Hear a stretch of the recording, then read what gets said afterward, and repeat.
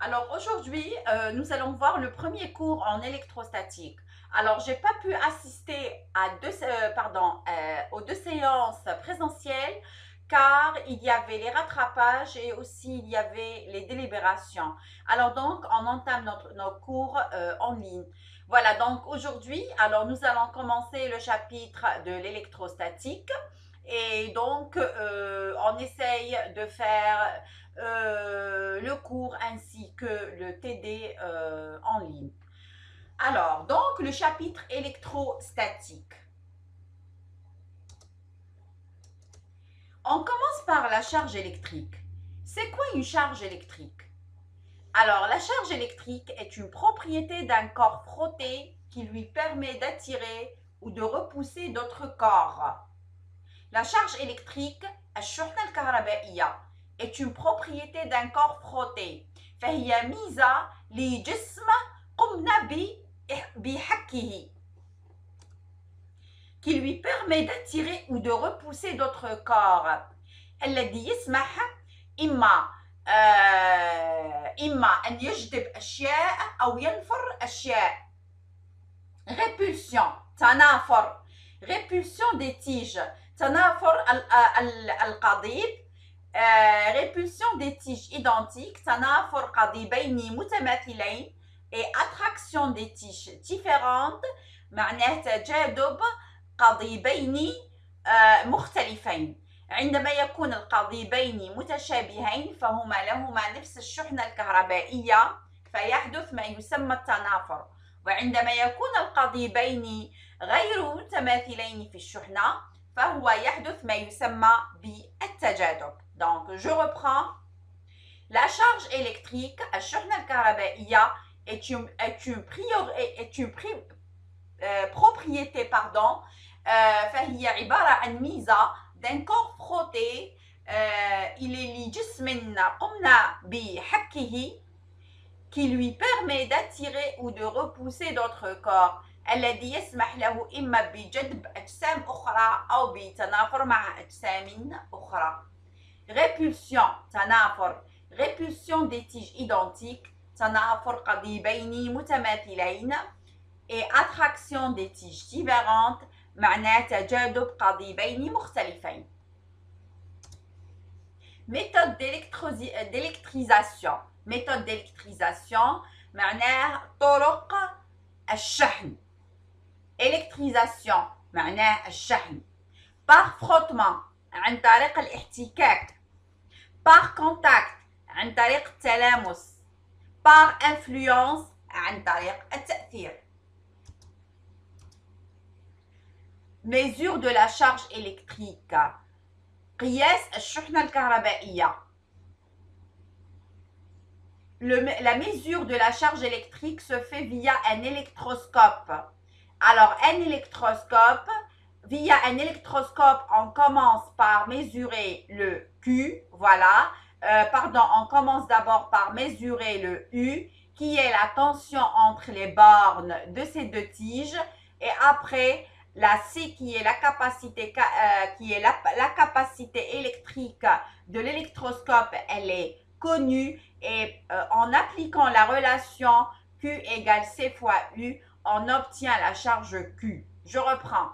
Électroscope donc نقوم بقياس الشحنة الكهربائية عن طريق إلكتروسكوب وذلك عن طريق قياس فرق الكمون المتواجد بين القضيبين.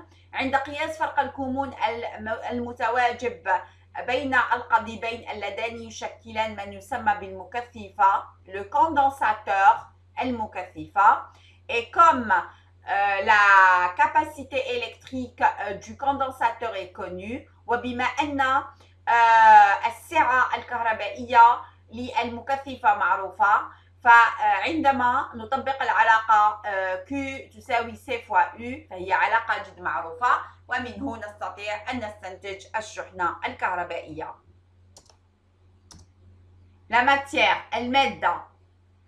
تنقسم المادة إلى قسمين. Les isolants diélectriques les isolants هما العوازل. Absence de charge libre de se déplacer déplacement de charge au niveau atomique ou moléculaire sous l'effet d'un champ électrique extérieur, résistance électrique grande. Alors, ce qui concerne les, isolants, pardon, donc les isolants, euh, c'est une matière qui ne contient pas des charges libres Et par conséquent, il n'y a pas de conduction à l'intérieur du matériau. العوازل لا تحتوي على إلكترونات حرة التي يمكنها التنقل بكل حرية في المادة وبالتالي فهو غير ناقل للكهرباء. Les conducteurs, c'est les matériaux. Au niveau des conducteurs, on a l'existence de charges libres, résistance électrique faible. Les conducteurs هما النواقل النواقل وهي عادة ما تخص كل ما هو معدن وبالتالي في المعادن تتواجد إلكترونات حرة يمكنها التنقل بكل حرية وذلك لأن المعدن يتميز ما ما يسمى يتميز بما يسمى بمقاومة كهربائية جد صغيرة. لا فورس دو كولوم. سي كوا لا فورس دو كولوم؟ إلى لوا دو كولوم، قانون كولوم. Alors, la force de Coulomb, dans le cas général, elle considère la force créée par deux charges. Ces deux charges, soit elles sont identiques, et par conséquent, on a une force d'attraction, soit répulsif et par conséquent, on a une force de répulsion. Celui-là, c'est Coulomb. Alors donc, étant donné la loi mécanique de l'action et de la réaction, la force d'interaction entre deux charges ponctuelles est proportionnelle à chacune de ces deux charges. Qanoun Coulomb.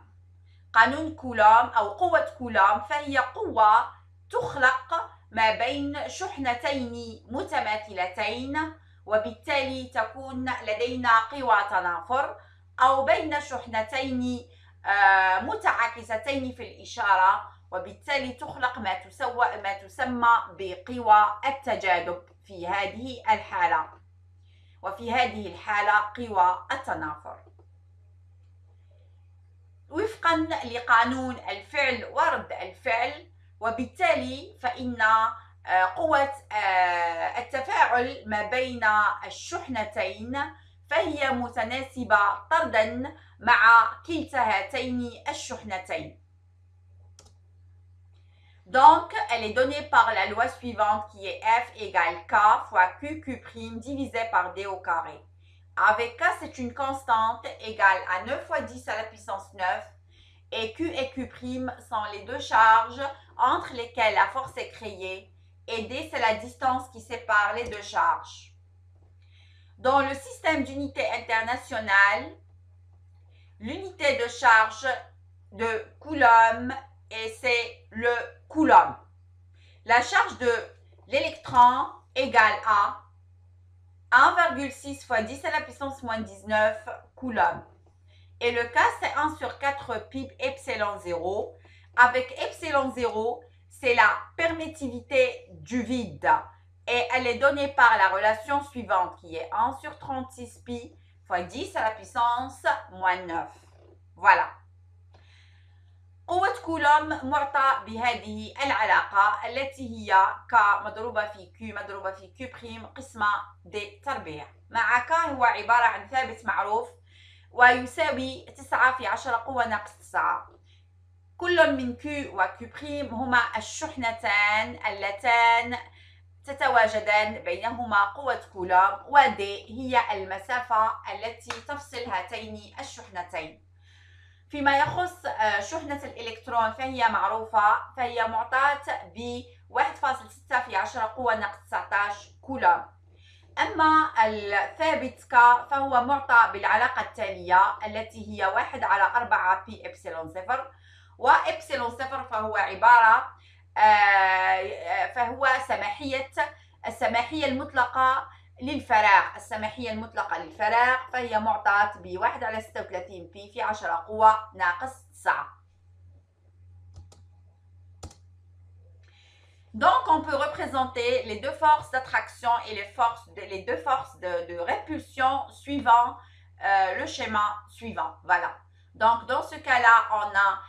les deux euh, charges sont similaires, ils ont aussi euh, le même signe et par conséquent, on a la création de deux forces dans deux différents, dans deux sens inverses. En revanche, ici, on a euh, les deux charges sont négatives, une négative et l'autre positive, séparées par une distance R. Et par conséquent, ici, on a la création de deux charges qui ont deux sens contraires. Voilà. Mais il forme euh, deux forces de répulsion. Bien sûr, ici, ça, c'est la relation de Coulomb. Dans les deux cas, la force est proportionnelle au produit des charges et varie, et varie en carré inverse de la distance entre les charges. فيما يخص الصورة الأولى فهي تعبر عن قوتين متنافرتين لشحنتين متماثلتين في الإشارة وفي القيمة المطلقة. أما الصورة الثانية فهي تمثل آه، تنافر آه، تجاذب قوتين آه، لشحنتين متماثلتين في القيمة المطلقة ولكن مختلفتين في الإشارة.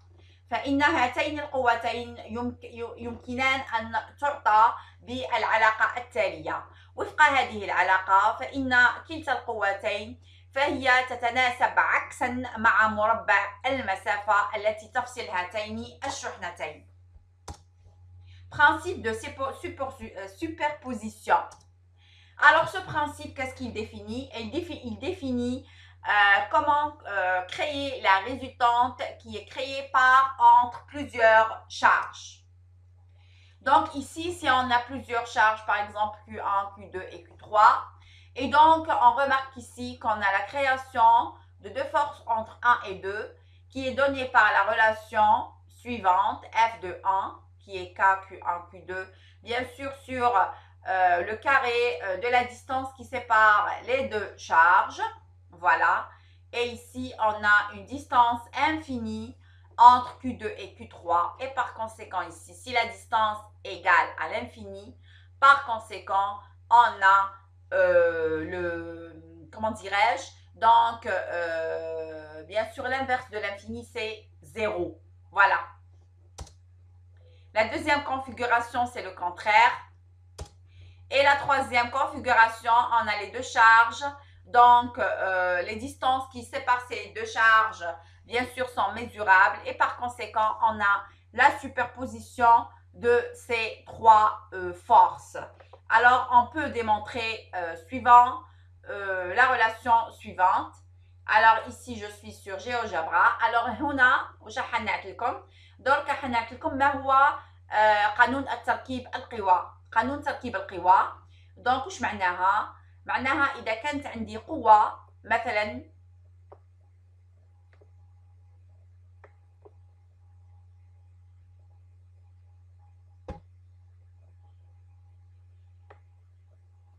مثلا هذه القوة مثلا بين الشحنة A و B مثلا. ولدينا قوة أخرى بين الشحنة مثلا A و C. فوالا دونك القوة الأولى والقوة الثانية. وبالتالي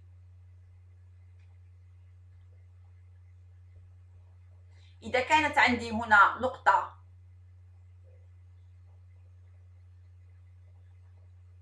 فالنقطة alors نريد معرفة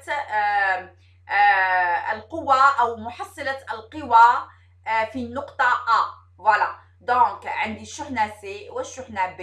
فإن A فإن A تؤثر عليها الشحنة C بقوة والنقطة B تؤثر عليها الشحنة B بقوة وبالتالي مجموع هاتين القوتين وبالتالي عن طريق تطبيق العلاقة متو... علاقة متوازي الأضلاع alors 3 ici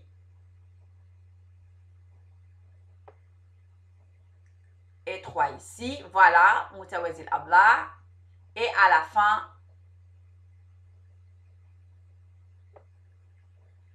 j'ai la résultante. Voilà, W. Voilà, W.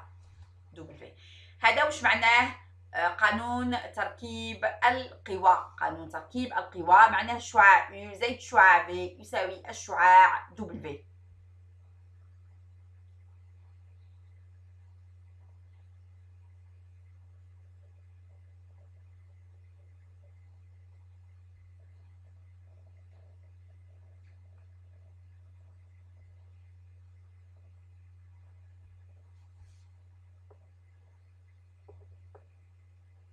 U زائد V يساوي W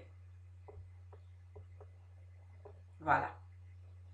وبالتالي وبالتالي يمكن إيجاد المحصلة بهذه الطريقة لأن الشعاعين لهما نفس المبدأ. ألو في حالة الشعاعين ليس لهما نفس المبدأ؟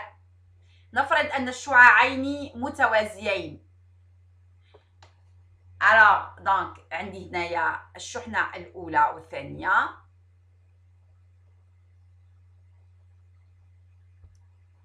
Alors في حالة تواجد شعاعين لهما اتجاهين آه، متماثلين. دونك المحصلة في هذه الحالة كيف تكون؟ المحصلة دونك هذا الشعاع آه، نسحبه إلى هنا. فيصبح لدينا هذا الشعاع. وبالتالي المحصلة ما بين الشعاعين فهي مجموع الشعاعين معا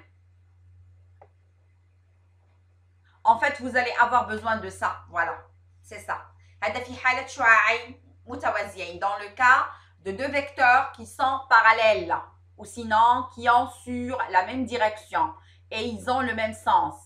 Dans le cas contraire, si les deux vecteurs, si les deux vecteurs ont deux sens euh, différents, alors dans ce cas-là, alors إذا كان الشعاعان لهما اتجاهين متعاكسين هذا الشعاع الأول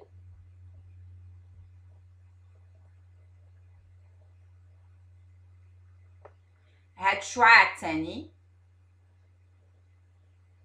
الوغ الآن كيف آه، نقوم بعمل المحصلة؟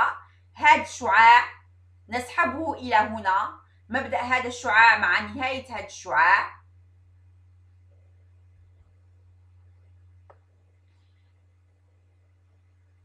فوالا وأكبر شعاع والمحصلة تكون في جهة أكبر شعاع.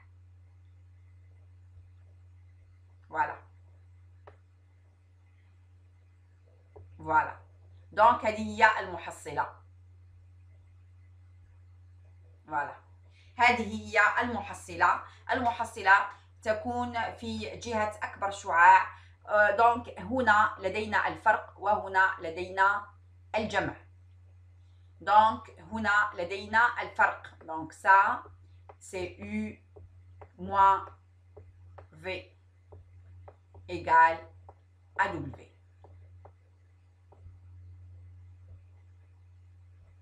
Donc, la loi de superposition, elle concerne l'addition et la soustraction des vecteurs, ce qui concerne les trois charges. On est arrivé à la fin euh, de cette séance. Je vous dis euh, euh et à la prochaine, Inch'Allah, on essaye soit d'entamer euh, la série des exercices de TD, soit de terminer le cours. Au revoir.